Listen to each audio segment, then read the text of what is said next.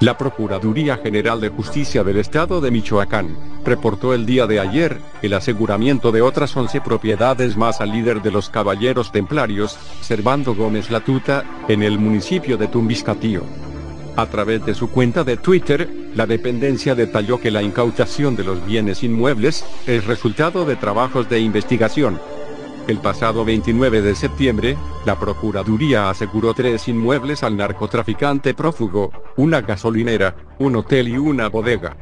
El hotel, dijo la Procuraduría, era usado por integrantes del propio grupo criminal y la tuta lo usó como foro para una entrevista televisiva. La Procuraduría no dio más detalles de las propiedades aseguradas.